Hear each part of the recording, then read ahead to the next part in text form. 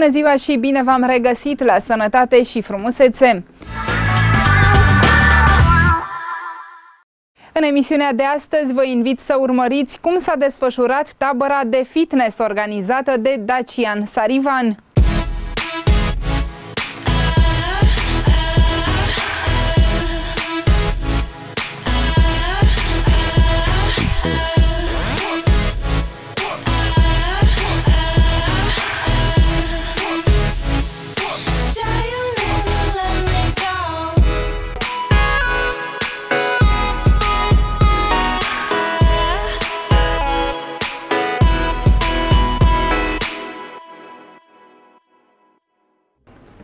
O să încerc să vă demonstrez, nu doar să vă zic, și să vă demonstrez că e cel mai eficient timp de antrenament, indiferent de obiectivul meu. O să vedeți că un singur tip de antrenament se potrivește pentru oricine, pe parcurs. Care sunt tipurile generale de antrenament? Sunt două tipuri generale, antrenamente aerobice și anaerobice. Ce înseamnă antrenament aerobic? Care poate să-mi spună? Aerobic. Exact. Antrenamentele cardio de durată mai lungă și cu număr mare de repetări. Antrenamente care necesită oxigen. Exact? Alergare în not, ciclism, ore de zumba, ore de, uh, nu știu ce mai sunt, uh, kangu jumps. Astea toate sunt clase de aerobic. Da? Că în not, când mă duc la o clasă de genul ăsta, sunt aerobic. Și sunt antrenamentele anaerobice, care durează puțin pentru că sunt foarte intense sprint, da? Deci pot să fac aerobic și să alerg o oră, sau pot să fac sprint, viteză maximă și nu pot să alerg mai mult de două minute. Astea sunt antrenamentele anaerobice. Sau antrenament de forță. Nu pot să fac cu greutate mare. Greutate mare înseamnă și intensitate mare. Nu pot să fac cu greutate mare un exercițiu timp de o oră. Pot să fac un minut, maxim două, dacă reduc un pic greutățile. Intensitate mare. Astea sunt antrenamentele anaerobice și aici o să mă refer mai mult la antrenament de forță, ca și antrenament anaerobic. Așa o să vorbesc în continuare. Să avem antrenament cardio și antrenament de forță. Practic, astea sunt două mari tipuri de antrenament la care eu o să mă refer, pentru că astea sunt cele mai întâlnite. Când vreau să slăbesc? Am o întrebare așa și vreau să aud opiniile voastre ce antren- pe ce antrenament trebuie să mă concentrez. Când vreau să slăbesc, când vreau să ard calorii. Combinat. Combinație, de forță, depinde. Aerobic, altcineva? Cardio? Așa? La intensitate mare nu slăbești din țesut gras. Trebuie să ai pulsul la, până la un anumit punct și se calculează 220 minus vârsta înmulțit cu 0,65 este punctul maxim de apă. Da, bun. Asta, Stai pe bandă două ceasuri și să alergi ca disperatul și tot exact. Explicarea științifică pentru care alerg, aleg să fac cardio aerobic când vreau să slăbesc este că la, când lucrez la intensitate mică, ca sursă de energie folosesc grăsimile. Când cresc intensitatea exercițiului și fac forță, de exemplu, nu folosesc grăsimile ca sursă de energie, ci glicogenul din mușchi. Glicogenul sunt practic carbohidrații stocați în mușchi, zahăr stocat în mușchi. Deci nu ar grăsime la forță, ar glicogen. De asta când vreau să slăbesc, al- se alege antrenamentul cardio. Da? O lăsăm așa deocamdată. Bun. Persoanele care trec, nu neapărat de 30 de ani, am dat eu așa un număr. Poate să fie între 20, ok, nu-i ajută sistemul hormonal odată, dar de ce? Încetinește metabolismul, super. De ce? De ce după o anumită vârstă încetinește metabolismul? Știți de ce? Și vă sfătuiesc de acum încolo, orice informație o aflați, să vă puneți întrebarea de ce. Eu niciodată n-am fost mulțumit de niciun răspuns pe care l-am primit și așa a fost firea mea. Am studiat să văd de ce. Din curiozitate, din dorința de a aprofunda, mi-am pus întrebarea de ce. Mulțumim mult! Și răspunsul este destul de, adică foarte funda, fundamentat științific să știi exact de ce persoanele după 30 de ani, odată cu înaintarea în vârstă, le scade metabolismul și se îngrașe. Pierd masă musculară. Ăsta e răspunsul. Pe măsură ce îmbătrânesc, îmi scade masa musculară. Dacă nu o stimulezi. Și cum poți să stimulezi masa musculară? Făcând doar antrenament de forță. Dacă fac cardio, nu-mi crește masa musculară. Clar, doar făcând forță. Deci, pe termen lung, dacă vreau să nu-mi scadă metabolismul și să nu mă îngraș, trebuie să fac forță, în primul rând, nu cardio.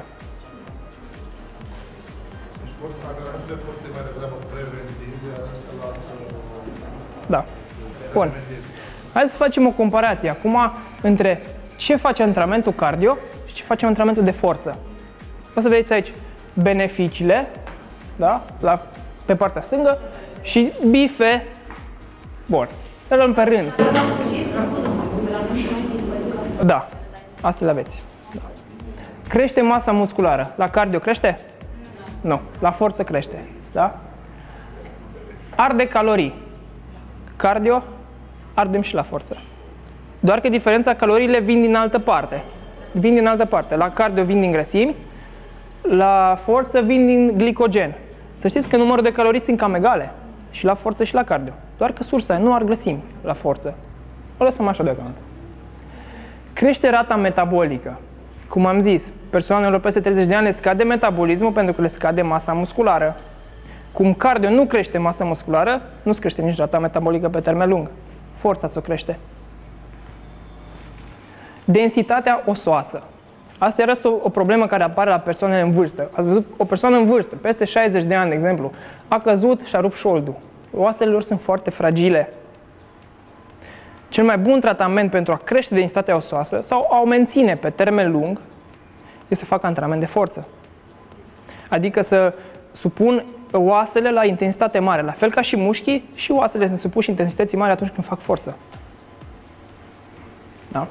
Când fac cardio nu se întâmplă asta, când am intensitate mare, n-am greutăți. Da? Previne pierderea masei musculare. Cardio nu face treaba asta, cum am zis, forța o face din plin. Circulația. Ambele. Da? Mi se mulțește circulația, mi se mulțește funcția inimii și că fac cardio și că fac forță. Sistemul cardiorespirator. Da, la cardio știm, inima bate din plin uh, și astfel obțin o inimă sănătoasă. Inima e tot un mușchi, trebuie să lucrez. Când fac cardio, îmi lucrez inima, dar la fel îmi crește pulsul și când fac forță. Mai ales dacă fac serios un antrenament. Îmi crește pulsul, deci îmi lucrez inima și acolo. Mama, nu le mai luăm pe toate rest, o să mă leg de ultimul, de sensibilitate la o insulină. Pentru că zicea coleg, colegul meu Alex de treaba asta.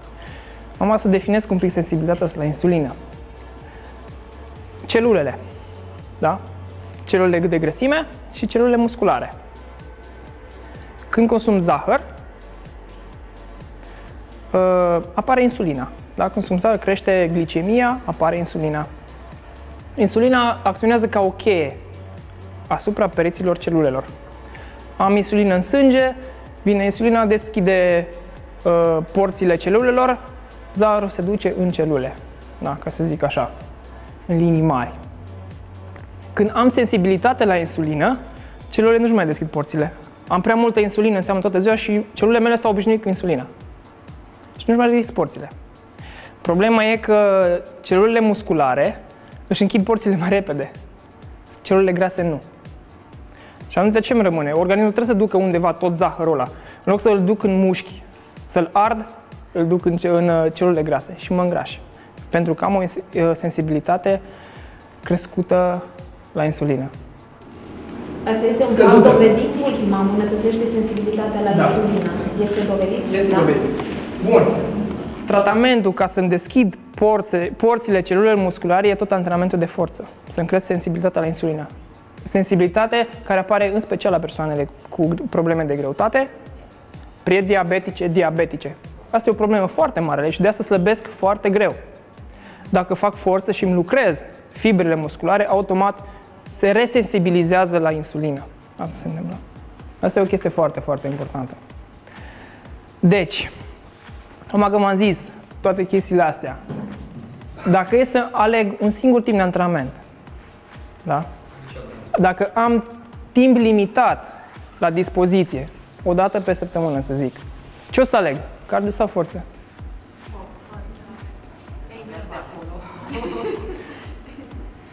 Pot să fac un pic, ideal e să le fac pe amândouă, ideal, să am beneficiile din ambele. Dar eu obțin toate beneficiile astea dacă fac forță. Doar forță. Mai ales dacă fac forță, sub, mai e un tip de antrenament gen circuit fac forță, trec fără pauză de la un exercițiu la altul Atunci și pulsul mi țin ridicat, da? Foarte important. Asta e, asta, asta vreau să vă zic exact. Forța e cel mai important antrenament și cel mai eficient antrenament, pentru că mi-aduce toate beneficiile cardio, nu mi le aduce pe toate. Și vorbeam de diferență, de uh, fundamentul științific de ce aleg cardio și nu forță când vreau să slăbesc. Cum am zis, cardio are de grăsimi, forța are de glicogen. Dar, aici un mare dar, caloriile sunt egale. Ar calorii egale și când fac cardio doar că din surse diferite, da? Din grăsimi și din glicogen. Bun, am ars glicogen, am făcut forță, n-am ars grăsime. Dar la următoarea masă, eu când consum carbohidrați, ce o să se întâmple? Unde o să meargă carbohidrația aia? O să meargă în mușchi. O să meargă în mușchi ca primul, prima destinație și eu pe post de energie o să ar grăsime. Deci la finalul zilei ar grăsime, chiar dacă în timpul antrenamentului nu ar grăsime, o să ar după aia. Și deci ar grăsime făcând forță. Din punctul meu de vedere și, și a colegilor mei, antrenamentul de forță e cel mai important și atunci când vreau să slăbesc, nu cel cardio. Cardio doar dacă am timp extra, îl includ.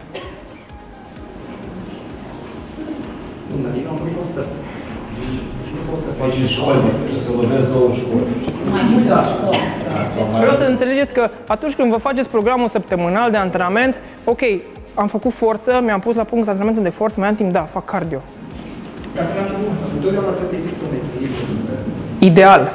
Dacă e să aleg, Am antrenament de forță, acum o să ne explicați din punctul vostru de vedere. Trei sferturi de forță după 30 și un sfert. Deci ca și proporție. Hai să vă la trei antrenamente. bun, fac trei antrenamente pe săptămână. Uh, Dacă vreau să cresc în masă musculară, nu mă interesează restul, da? Clar, ale antrenamente pot să fie toate de forță. Dacă vreau să slăbesc, trebuie să am măcar unul de forță în care să lucrez toate grupele de mușchi. Măcar o dată pe săptămână trebuie să lucrez toate grupele de mușchi. Ce înseamnă antrenament de forță? Forță, greutate, clar. greutate. Antrenamentul...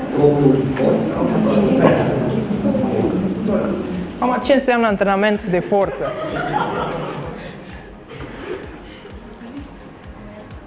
Antrenamentul de forță e în felul următor. Indiferent de încărcarea externă, că folosesc greutăți, că folosesc aparate, trebuie să lucrez suficient de intens încât să nu pot face mai mult de 20 de repetări, zic eu. Între 5, minim 5 de nu să folosesc greutăți foarte mari, că nu sunt halterofil și nu vreau să-mi pun articulațiile în pericol, se cam... Da, vrem să dezvoltăm masa musculară mai exact.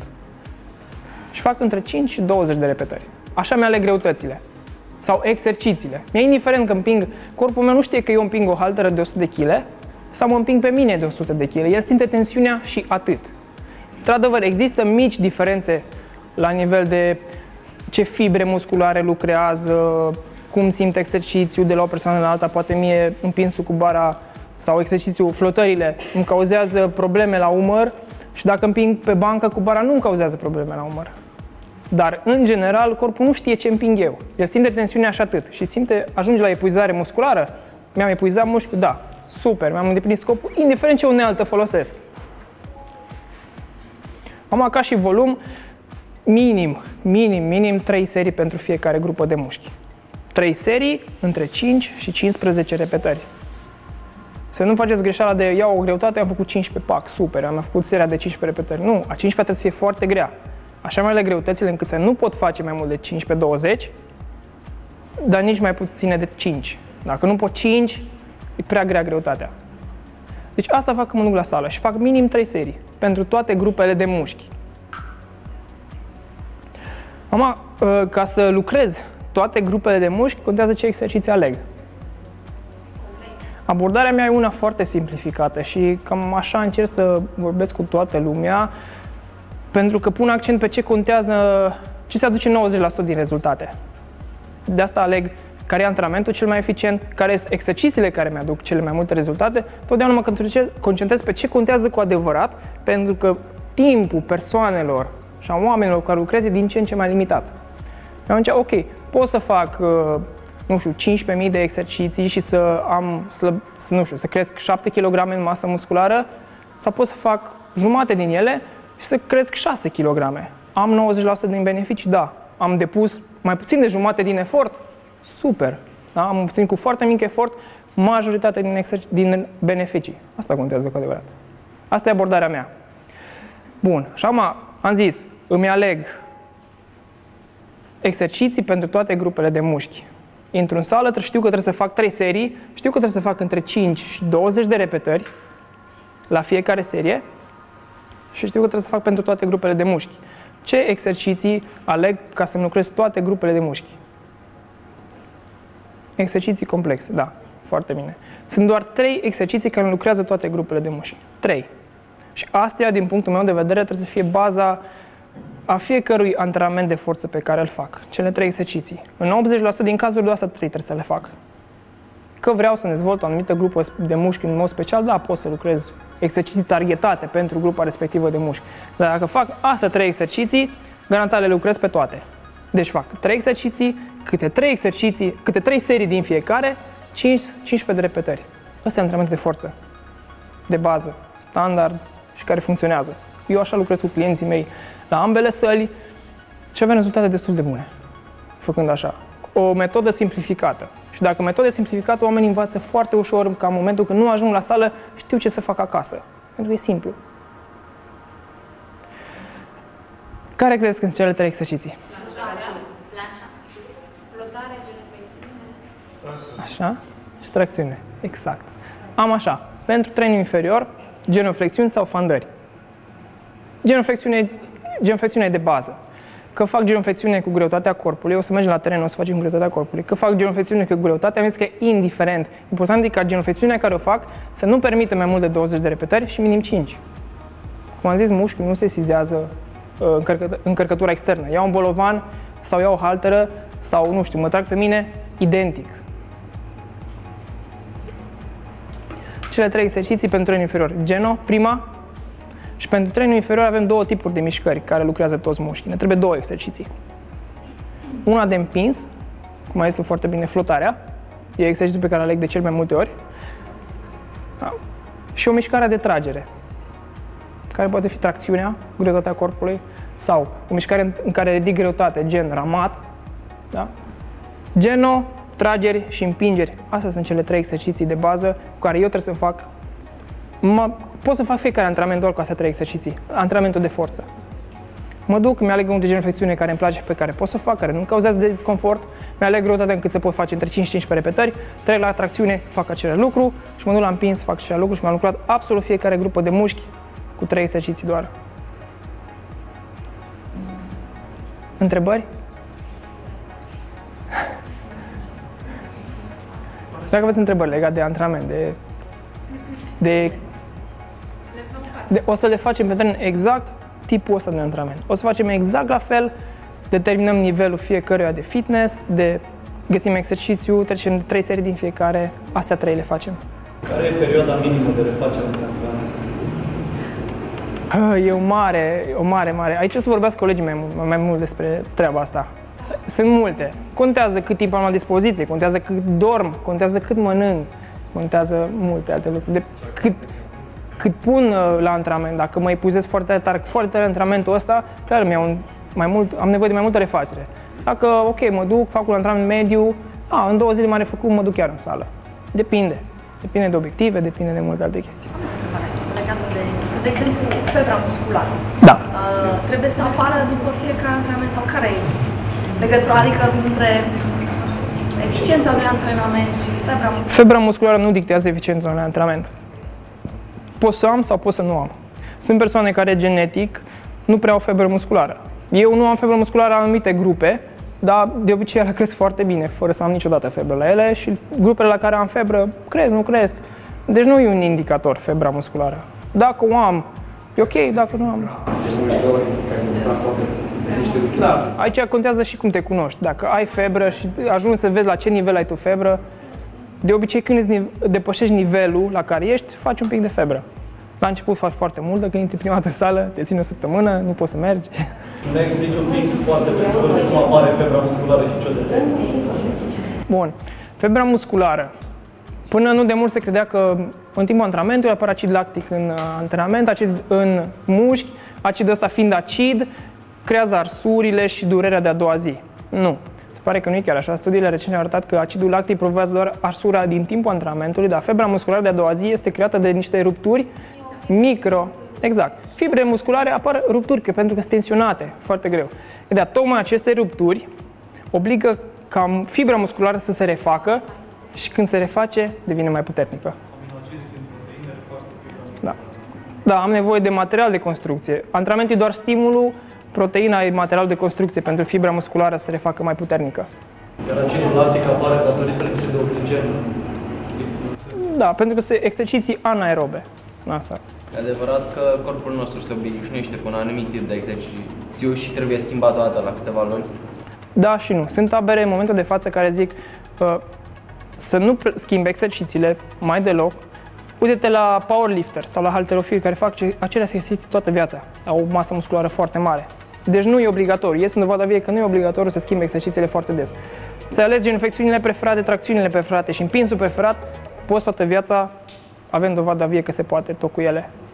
Ama, din când în când, dacă schimbi exercițiile, simți un stimul nou, faci o febră mai puternică și de obicei ajută la progrese mai mari dacă schimbi din când, din când în când, dar nu foarte des. Foarte important este să contorizezi progresul de la un antrenament la altul. Dacă tu schimbi la fiecare antrenament exercițiile, de unde știi că ești mai puternic ca la un, un, antrenamentul trecut? Doar dacă le reiei la un anumit timp și vezi, bine, trebuie jucat, da, sigur. O să, o să vă prezinte colegii mei, uh, Alex să vorbească despre antrenamentul de creștere musculară și Olivia o să vă zică de antrenamentul pentru scădere în greutate și slăbit. Vă mulțumesc, o să-l invit pe Alex.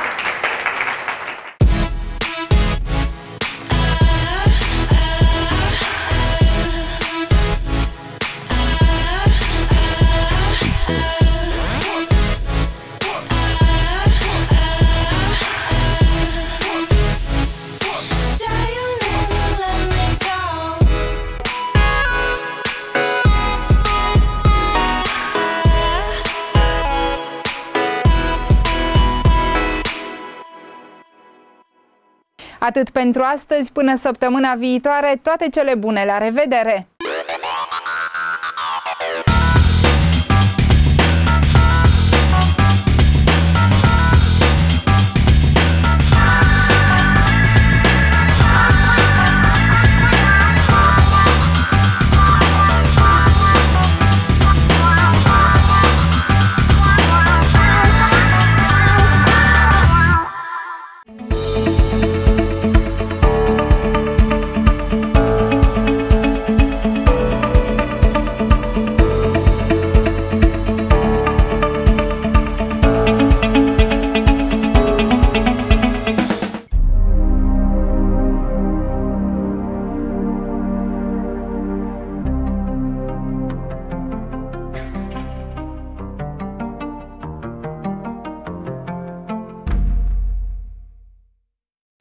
Lorena Beauty Salon. Frumusețea trezește sufletul la viață.